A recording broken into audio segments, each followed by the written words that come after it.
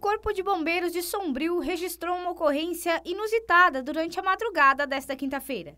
A guarnição foi acionada por volta das 2h15 da manhã e se dirigiu para uma residência localizada na rua Francisco Poçamai, no bairro Furnas, em Sombrio, para atender uma solicitação de captura de um réptil. No local foi localizado um jacaré com quase 2 metros de comprimento, que seria possivelmente da espécie papo amarelo.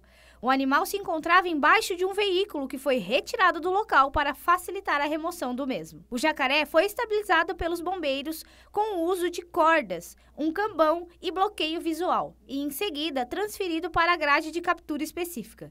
Com o apoio de uma outra viatura dos bombeiros, o animal foi solto em seu habitat natural. Ninguém se feriu.